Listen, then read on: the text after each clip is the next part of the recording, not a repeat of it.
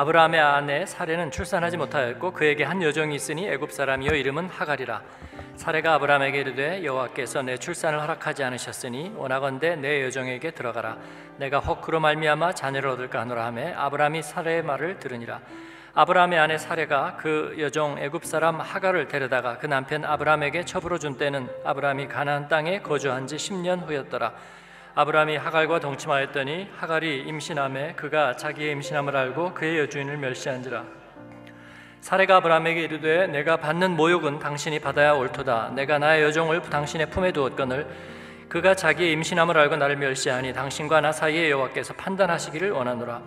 아브라함이 사라에게 이르되 당신의 여종은 당신의 수중에 있으니 당신의 눈에 좋을 대로 그에게 행하라 하매 사례가 하갈을 학대하였더니 하갈이 사례 앞에서 도망하였더라 여호와의 사자가 광야의 샘물 곁 곧 술길 샘 곁에서 그를 만나 이르되 사례 여종 하가라. 내가 어디서 왔으며 어디로 가느냐? 그가 이르되 나는 내 여주인 사례를 피하여 도망하나이다.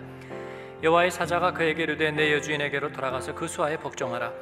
여호와의 사자가 또 그에게 이르되 내가 내 씨를 크게 번성하여 그 수가 많아 셀 수 없게 하리라 여호와의 사자가 또 그에게 이르되 내가 임신하였은즉 아들을 낳으리니 그 이름을 임마누 이스마엘이라 하라.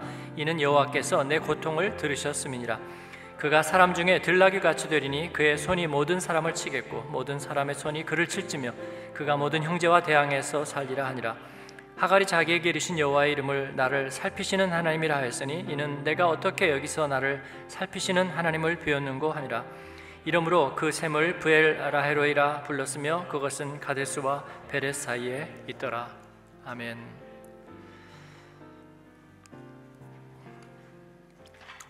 하갈 이야기가 아브라함 이야기 중에 오늘 등장하고 있습니다. 아, 아브라함은 약속의 사람이죠. 그래서 그 약속을 어떻게 그를 통해서 이루어 가시는지 그리고 그 약속은 예, 예수님의 이르기까지 그리고 그 예수님이 다시 오시기까지 신음하는 피조물이 죄와 죽음의 문제를 해결하고 하나님 안에서 온전한 에덴의 회복을 이룰 때까지 그 구원의 스토리, 구원의 역사는 계속됩니다. 우리 삶의 이야기는 그 구원의 역사의 한 축소판, microcosmos이죠. 그래서 이 아브라함의 이야기는 우리들에게 하나의 구원의 역사의 시작이며 모형과 같은 그런 역할을 하는 거죠.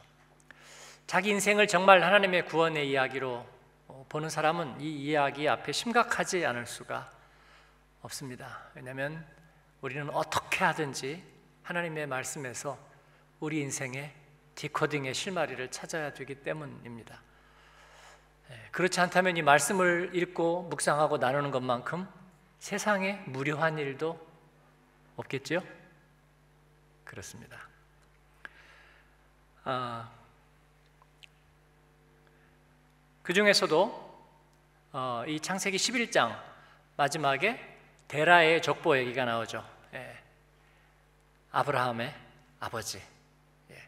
그 데라의 족보 이야기가 나오면서 아브라함이 하나님께 그 부르심의 음성을 듣고 그리고 그 말씀을 어떻게 그의 가슴에 품기 시작하였는지의 이야기로부터 22장에 이제 나홀의 족보 얘기가 또 나오면서 아브라함의 이야기는 대단원의 막을 내리고 그리고 이삭에게로 야곱에게로 구속사의 줄기는 흘러가죠.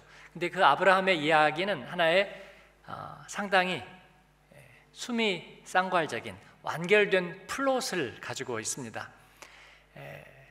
구속사는 플롯을 가지고 있습니다. 이것은 당연히 우리가 열매를 분해해 보면 예, 그 열매 안에는 생명의 기승전결이 있는 거나 같습니다. 그렇죠? 아이들을 보면 여러분은 무슨 느낌이 드세요? 아, 갓난아기를 가지신 분이 어, 이렇게 제가 말하는 것을 용서하지 않을지도 모르지만 아이들은 노인을 닮았죠. 그죠?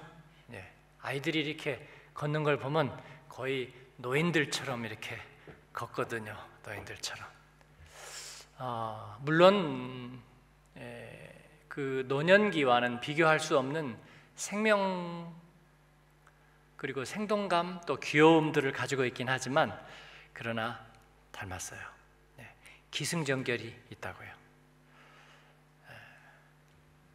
마찬가지로 어, 생명의 씨앗이나 열매를 보면은 그 안에 플롯이 있는 거죠. 네, 줄거리가 있어요. 건물의 설계도 안에도 역시 그렇고요.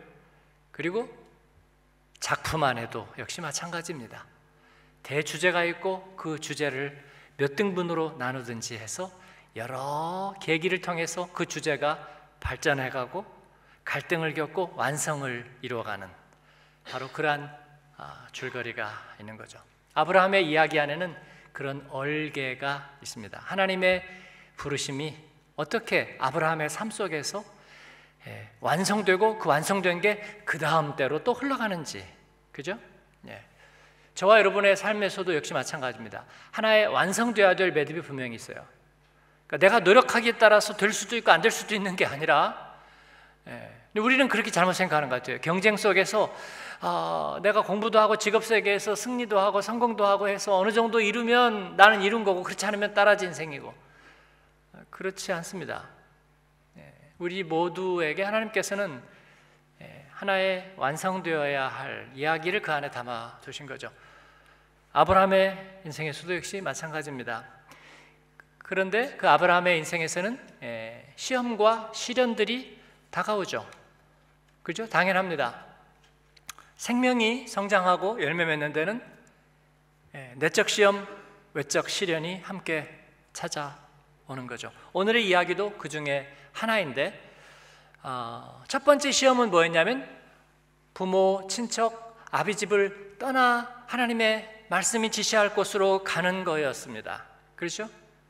어, 그의 아내 사례와 함께 동행하면서 어, 그는 첫 번째 시련을 겪죠. 이건 사실은 굉장히 중요하고 큰 시련이었습니다. 어, 하나님의 말씀을 따라 간다는 것, 자기에게 익숙한 터전을 버리고 간다는 것은 굉장한 거였습니다. 아마 여러분도 그런 경험을 이미 하셨는지 하고 계시는지도 모르겠어요. 그리고 그 다음에는 또 이제 가나안 땅에 접어들지만 흉년을 만나고 먹을 것이 없죠. 삶의 조건이 충족되지 않는 거죠. 그래서 그들은 이집트로 피신하고 거기에서 사례가 어, 생명의 위협에 처하고 아브라함도 생명의 위협에 처합니다. 하나님의 약속을 아직 그들은 잘 신뢰하지 못합니다. 그러면서 그들은 또다시 시련을 겪는데 하나님의 구속사의 부르심의 줄기를 보면 네, 제가 그림을 가지고 하면 좀 더 편한데 시련을 그냥 겪으면서 계속 이렇게 끝없이 직선으로 이어가는 것이 아니라 나선형의 구조로 깊숙이 들어가는 거예요. 이렇게 들어가는 거예요. 네? 하나님의 인도하시면은 점점점 더 들어가는 거예요. 아이들이 성장하면서 몸이 아프잖아요. 뭐 편두선도 붓고, 뭐 그다음에 예, 폴립 때문에 코맹맹이 소리도 나고, 그죠? 예, 그리고 뭐 뼈가 아직 무르니까 살짝 넘어져서 부러지기도 하고, 어, 다치기도 하죠. 또 모서리에 찢기도 하고, 어, 여러 가지. 그 다음에 감기나 아니면 큰 속에 탈이 나기도 하고 그러나 그 아이들의 생명이 성장하면서 그 아픈 것에도 급수가 있고 단계가 있는 거죠. 그죠? 그러면서 면역력이 점점 더 강해지고 이제 아프던 게 아프지 않고 새로운 데 아프죠. 그러나 그 생명의 중심으로 그 아이는 점점 점점 점점 깊이 깊이 들어가고 있는 거죠. 그죠? 사춘기를 겪고 질풍노도의 시간을 지나고 청년의 위기를 겪지만 그는 생명의 중심부로 점점 점점 태풍의 눈 속으로 들어가고 있는 거예요. 아브라함의 시험도 그렇게 그렇게 그렇게 그렇게 갑니다. 그래서 본토 아베 친척집을 떠나고 그리고 가나안 땅에서 흉년을 만나고 그리고 에집트에서 목숨의 위협을 겪고요. 그 다음에 조카 롯과 동행하다가 서로 이별하는 아픔을 겪고 그리고 선택해야 될 위기를 겪게 되죠. 그래서 눈에 보이는 좋은 땅 소돔과 고모라가 있는 서할 땅이냐 요단의 물이 풍성한 저 사해 남쪽의 초지냐 아니면은 광야냐? 광야는 나중에 약속의 땅이죠. 가나안 땅이죠. 광야기 때문에 가나안 땅은 아닙니다. 하나님이 그 가운데 같이 계셨기 때문에 그 광야와 가나안은 계속해서 약속의 땅이 될 수 있었던 거고요. 욕망이 선택한 소돔과 고모라는 약속의 땅이 될 수 없었던 거예요. 이것도 굉장히 중요한 시련이었습니다. 롯은 당연히 요단 초지, 물과 그리고 풀이 넉넉한 그곳을 택했습니다. 도시 문화가 이루어져 있는 네. 향락과 방탕과 그리고 하나님을 섬기지 않는 소돔과 고모라를 택했습니다. 뭐 이런 들 어떠하리? 네. 우선 잘 살고 그 다음에 다음에 어떻게 해보지? 이건 굉장히 중요한 시련과 위기였습니다. 아브라함은 거기에서 광야를 선택하고 그리고 하나님을 선택합니다. 그에게서 하나님의 약속은 고비를 넘어 고비를 넘어갑니다. 시련이 끝나는 건 아니에요. 계속 계속해서 더 중심부로 들어가죠.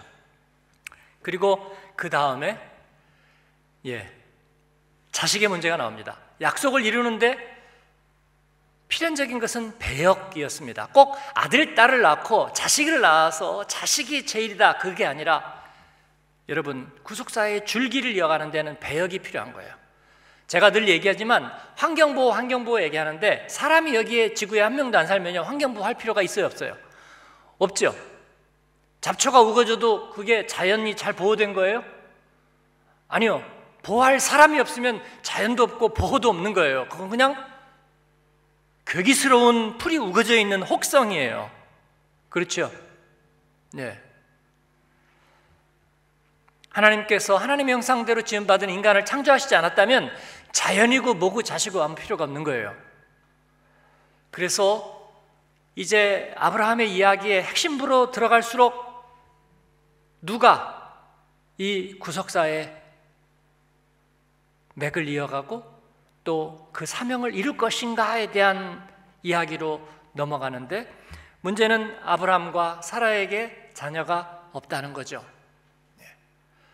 네. 약속의 사람에게 자녀가 없다는 그 위기 속에서 어떻게 이 하나님의 약속을 이루시는가 하는 질문을 아브라함의 이야기는 하고 있죠. 이게 아브라함의 이야기 속에서 아브라함이 겪는 시련의 가장 핵심부로 들어가는 거예요. 핵심부로. 그래서 거기에서 사라는 어, 당시에는 결혼한 여성이 자녀가 없으면 여성은 아무런 권리를 누리지 못해요.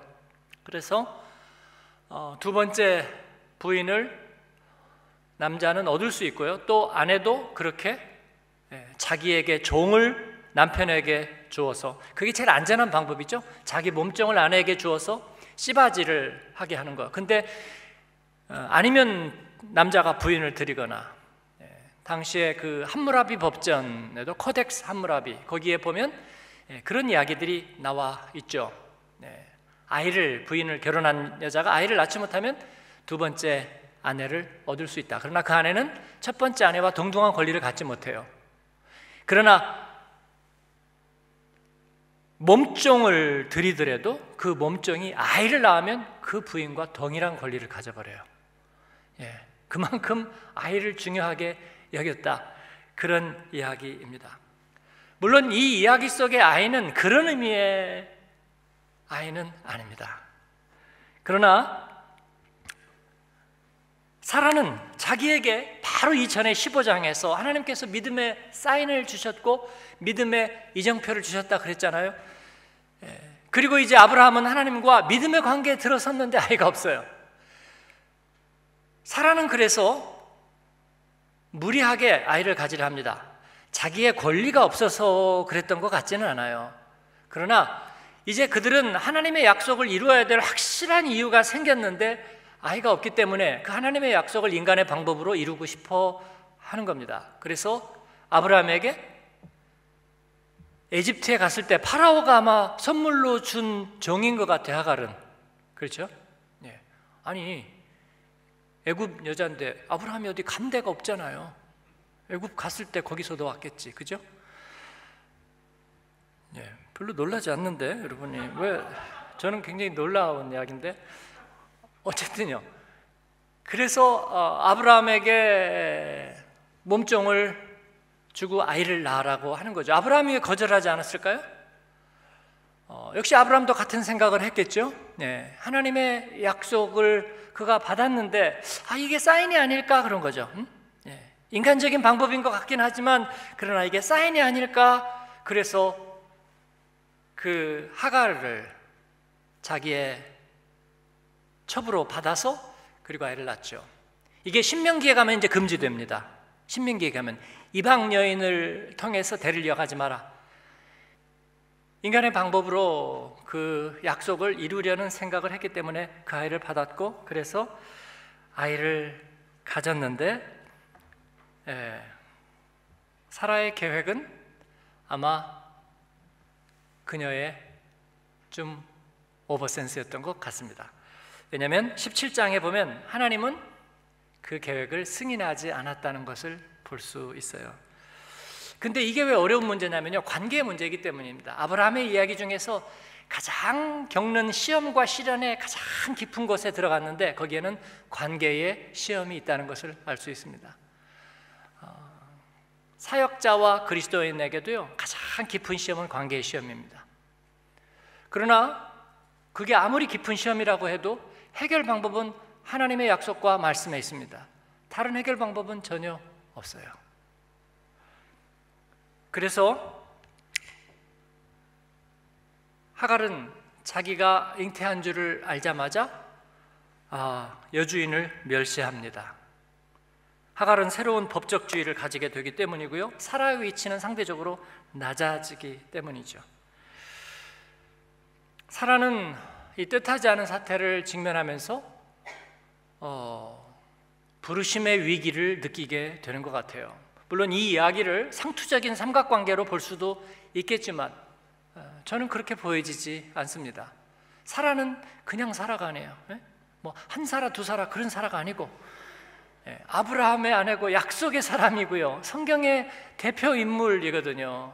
그렇기 때문에 그가 위기를 겪는 거예요. 아하, 이게 아니었구나. 나는 하나님의 약속을 이루기 위해서 어, 몸종을 남편에게 주고 그 다음에 그렇게 하나님의 대를 이어갈까? 하나님의 약속은 그렇게 이루어질까 생각했는데 그게 아니로구나 하는 생각을 갖게 되는 거예요. 아니라고 생각하니까 빨리 이 문제 해결해야죠. 그래서 아브라함에게 해결하라.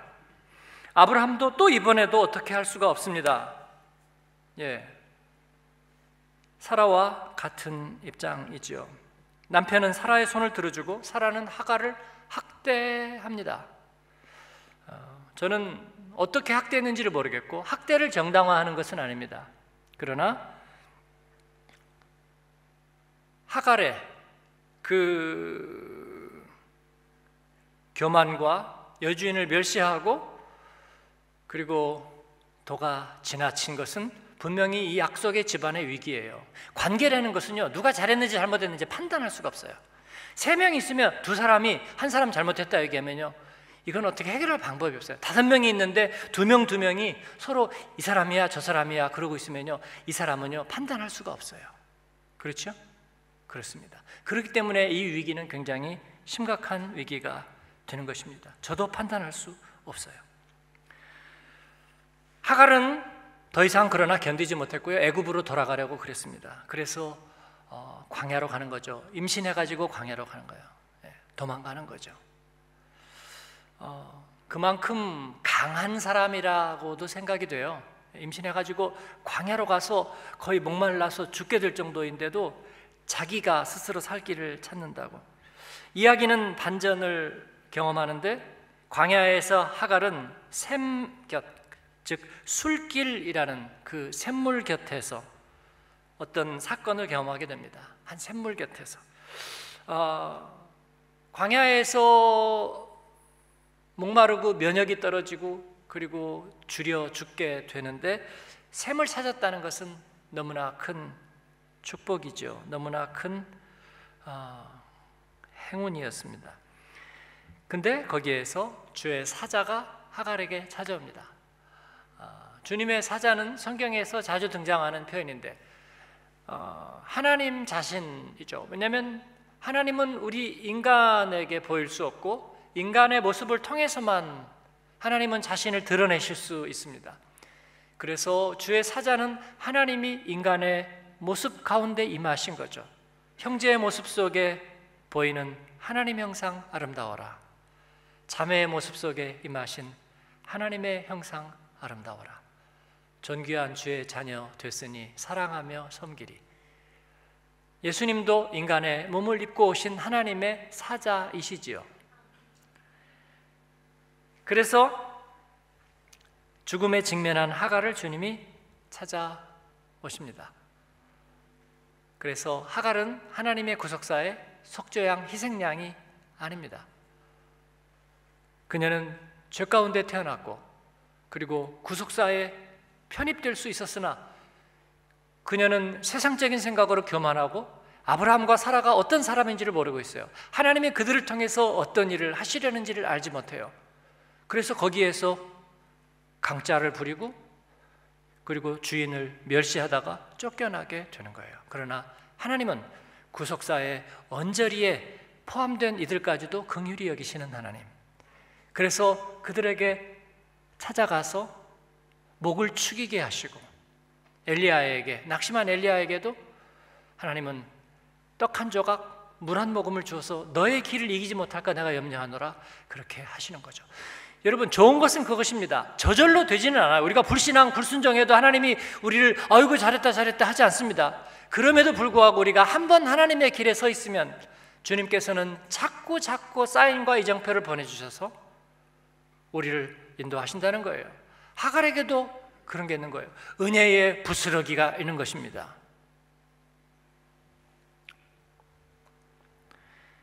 주의 사자는 하갈에게 출산을 보장하고요. 태어날 아들은 이스마엘이라 하리라 그래요. 예. 임마누엘이 아니고요. 이스마엘. 예. 하나님이 들으신다 그런 거예요. 하나님은 들으시는 하나님입니다. 이방인에게서도 들으시는 하나님이죠.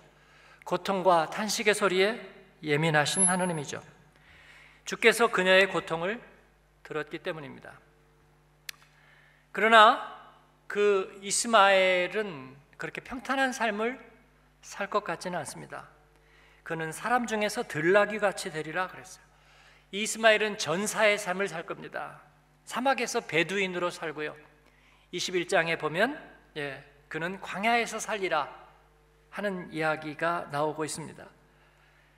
베두인 흔적을 찾을 수 없고 멍해를 지지 않고 고집이 세고 자기 소신대로 살아가는 문화 외곽에서 사는 사람들입니다. 네, 이것이 이스마엘의 운명이 될 거예요. 하나님은 약속의 사람의 길에서 먼저는 예, 룻을 쳐냈습니다. 하나님이 쳐낸 게 아니라 그가 스스로 떠나갔죠. 좋은 곳으로 소견에 오른 곳으로 떠나갔는데 모압과 암몬의 조상 예, 그들을 약속의 길에서 떨쳐내고요. 그리고 이스마엘 이스마엘은 무슬림들이 자기들의 조상으로 생각하고 있습니다. 예, 무슬림의 조상으로 어, 이스마엘을 생각하고 있는데 하나님께서는 그들도 긍휼을 베풀지만 그러나 약속의 길에서 가지를 쳐 주시는 거예요.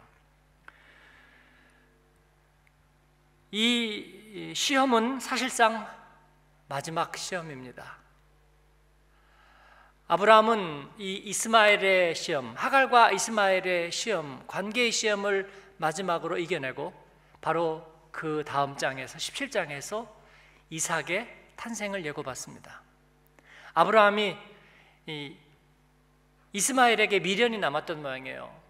그냥 이스마엘이나 하나님 복을 주세요. 그랬더니 예, 17장 이야기에서 하나님께서는 아니다. 이스마엘이 아니야. 아, 네가 아들을 낳으리라 그렇게 얘기하시는 것입니다. 그리고 하나님께서는 약속의 적자, 아, 은혜와 진리가 충만하고 그리고 복음으로 낳은 그리스도의 몸된 사람을 세우겠다 약속하시는 거예요. 그죠? 그 이삭의 탄생으로 해서 아브라함의 이야기의 플롯은요 가장 깊숙한 바닥을 칩니다. 그리고 그 다음에 시험이 또 이루어지죠. 그죠? 여러분 이 씨앗이 열매가 되는 과정에서도요 이제 7번 응선을 어, 넘어서면은 그 다음에는 이제 열매가 되는 거예요. 그렇다고 시험이 없느냐? 있습니다. 근데 아브라함 이야기 보면 그 다음에 그 시험이 전반부에 있었던 시험과 거의 유사하게 대칭적인 시험들이 반복되는 걸 볼 수 있어요.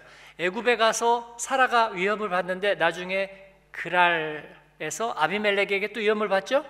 그러나 그거는 아브라함이 이제 한번 학습을 했잖아요. 그러니까 상당히 쉽게 넘어가요. 그리고 소돔과 고모라 얘기가 또 나오죠. 예, 룻과 그의 아, 롯과 그의 아내가 어려움을 당하고 그러나 아브라함에게는 더 이상 그것은 시험이 아닙니다. 아브라함은 그때 기도하고 하나님과 딜을 하지만 그러나 그에게 시험은 더 이상 없는 거예요. 그리고 마지막에 그 아들 이삭을 21장에서 모리아산에 하나님이 제물로 바치라 하는 얘기가 나오죠. 그 이야기는 처음에 시련이 뭐예요? 하나님의 부르심을 받고 무슨 시험이 있었다고 그랬어요?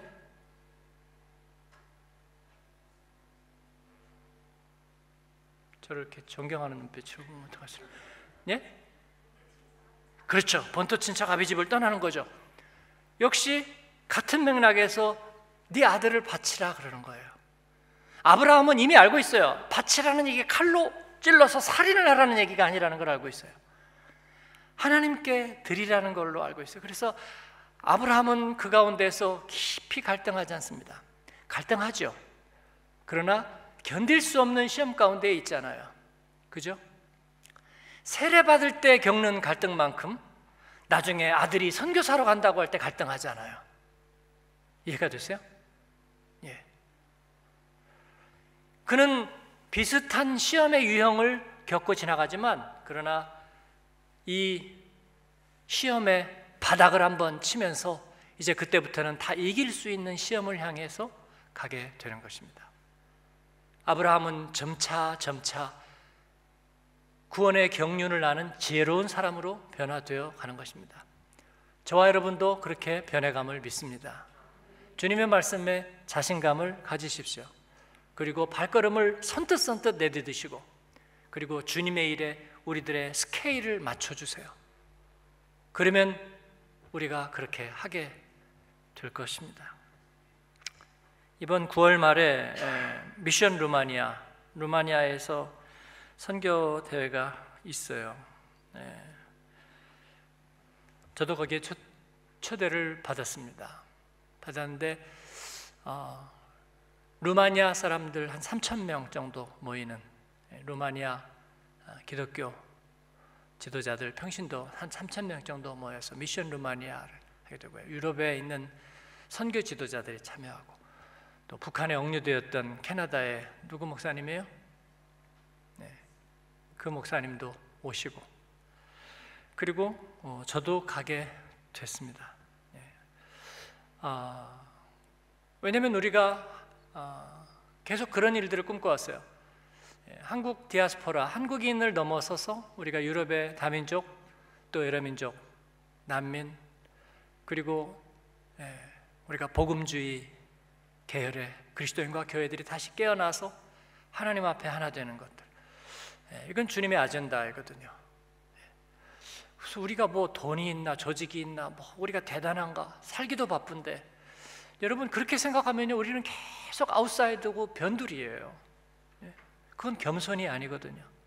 하나님의 일에 우리가 조금씩 조금씩 핀을 맞추면 제가 오늘 아침에도 새벽에도 그 말씀드렸지만 하나님께 우리가 초점을 핀을 맞추는 거예요. 그러면 점차 점차 이게 맞아 들어갑니다. 주님은 우리를 그렇게 사용하고 계시다. 저는 그렇게 믿습니다. 그래서 어, 선뜻 yes 했습니다. 우리가 그렇게 하십시다. 저희가 새 성전에 세미나실 뭐 사실 보니까 몇 개 안 되긴 안 돼요. 한국의 뭐 대형 교회처럼 막 끝없는 방이 있는 건 아니지만 그래도 우리 형편에서는 그죠? 뭐 본예배실, 소예배실 있던 거하고는 다르잖아요. 예, 세미나실이 꽤 있는데 그 하나 하나에다가 저는 어, 선교적인 이름을 따로 하나씩 붙이자. 우리가 뭐 양육반도 쓰고 교회 학교도 쓰고 공과실로도 쓰고 뭐 성가대실로도 쓰겠지만 예, 그 그냥 우리들의 이름일 뿐이잖아요. 예, 열방의 이름을 하나씩 붙여서 이름만 붙이는 게 아니라 실제로 와서 쓰게 하자. 저는 그런 생각입니다. 예, 주님의 일에다가 우리가 스케일을 맞추면 주님께서는 그 일을 통해서 우리를 축복하시는 것입니다. 물론 시험도 그때마다 있습니다. 그러나 우리가 지, 지난주에 나눈 것처럼 믿음의 사인을 갖게 되고 믿음의 이정표를 갖게 되고 그리고 근본적인 마지막 시험들을 우리가 주님의 말씀 안에서 결국 이겨내면 그 다음부터는 이길 수 있는 시험들, 이길 수 있는 싸움들이 오게 된다는 거죠. 여러분, 우리는 이 모델을 세우기를 원합니다. 아브라함과 사라는 그 약속의 길을 가고 모델의 길을 계속해서 가는 거예요. 가정에 불화가 있었고 위기가 있었지만 그것은 흠이 되지 않았습니다. 하나님은 변함없으셨어요. 하갈의 문제는 하나님께서 해결하십니다. 그리고 광야, 술길, 샘물 곁에서 그를 만나시고 그리고 이스마엘의 탄생을 보장하시고 또 그들의 생애를 하나님께서는 약속하시는 거예요. 많은 자손을 낳게 하리라. 물론 그들이 그들의 운명을 또다시 결정하게 되겠지만 그들은 하나님의 구원의 줄기에서는 벗어나 있지만 그러나 하나님의 긍휼을 받았습니다. 부엘라헤로의 감찰하시는 하나님. 그는 도피 중에 만난 하나님으로 인해서 하나님께 이름을 지어 드립니다. 부엘라헤로의 감찰하시는 하나님. 예. 그는 사마리아 우물가의 여인을 저에게 생각나게 합니다. 예. 우물 곁에 목마른 여인이 어느 날 인생에서 도피하는 그 모습 속에 살다가 낯선 나그네를 만납니다. 예. 그 사람은 자기에게 물 한 모금을 요청했고 이야기를 시작하는데 그분은 하나님의 아들 예수 그리스도이시죠. 그리고 그는 자기를 바라보았습니다. 내 남편을 데려오라. 그리고 그녀의 목마름을 알고 그녀의 마음의 어려움을 알았습니다. 바라보시는 하나님. 그래서 그분이 자기를 바라보니까 자기도 자기를 바라보는 그분을 다시 바라보았습니다. 예. 그래서 그는 보시는 하나님, Du bist der Gott des Sehens. 보는 하나님이라 그래요. Ich habe dem nachgeschaut, der mich gesehen hat. 나를 바라본 그분을 나는 바라보았다. 당신은 바라보시는 하나님. 네. 얼마나 멋진 이야기예요. 우물가의 여인도 자기에게 물을 달라 하는 이를 바라보았습니다. 그랬더니 그분이 자기를 바라보고 있는 거예요. 그리고 그분에게 생명의 말씀을 들으며 그 생명의 주를 바라보았습니다. 내가 주를 보았다. 그녀는 물동이를 버리고 가서 그렇게 외쳤습니다. 버림받은 하갈에게도 하나님의 약속의 사람을 핍박하고 강짜 부리던 하갈에게도 하나님께서는 그를 바라볼 수 있는 기회를 주셨고 그리고 감찰하시는 하나님을 만날 기회를 주었습니다. 저와 여러분도 역시 마찬가지입니다. 네, 어떤 상황 속에서도 우리는 주님 바라볼 수 있고 만날 수 있습니다.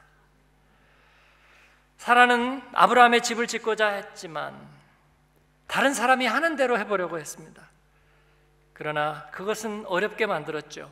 집은 하나님만이 지어주신다 하는 것을 알게 하셨고 하나님은 그들의 마음을 돌이키고 걸림돌을 제거해 주시고 그리고 아브라함과 사라에게 하나님만이 지어 주시는 집을 통해서 이삭을 주시지만 이삭도 그들의 소유가 아니죠. 이삭을 나에게 바쳐라.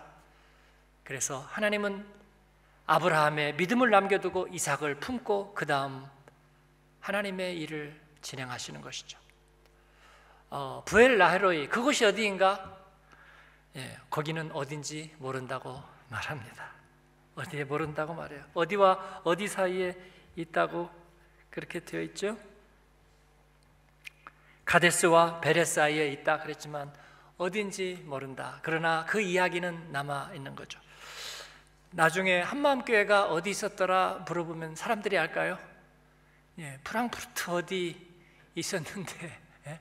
건물들 새로 진 건물들 사이에 있었는데 예, 알지 못한다고 말할 겁니다. 거기 어떤 목사들이 있었는지 알까요? 네. 그때 그 사람들이 기록하는 걸 좋아하지 않아 가지고 하나도 남아 있지 않아요. 네. 그래서 하나도 남아 있지 않을 것 같습니다. 그러나 하나님의 이야기는 남아 있고 그리고 구속사의 줄기는 남아 있는 거죠. 우리를 통해 흘렀던 그 구원의 샘물은 계속해서 생명강가 열두 진주문이 열린 새 예루살렘 성문 앞까지 흐르고 있을 거기 때문에 저와 여러분이 하나님 앞에 쓰임 받은 통로로 쓰임 받은 그것은 하나도 헛되지 않다는 거죠. 그 하나님은 우리를 오늘 또 살피시고 우리가 그 주님을 바라볼 때 그 주님은 우리를 바라보시는 브엘라헤로의 감찰하시는 하나님이라. 우리는 때로 하갈 같은 인생이지만 그러나 우리는 아브라함과 사라와 같은 약속의 사람이죠. 하나님을 바라보고 또 그 하나님의 도우심과 이끄심을 받으며 하나님의 약속을 신뢰하고 주님께서 주시는 시험과 시련들을 넉넉히 이겨나가는 저와 여러분 되기를 주님의 이름으로 축원합니다.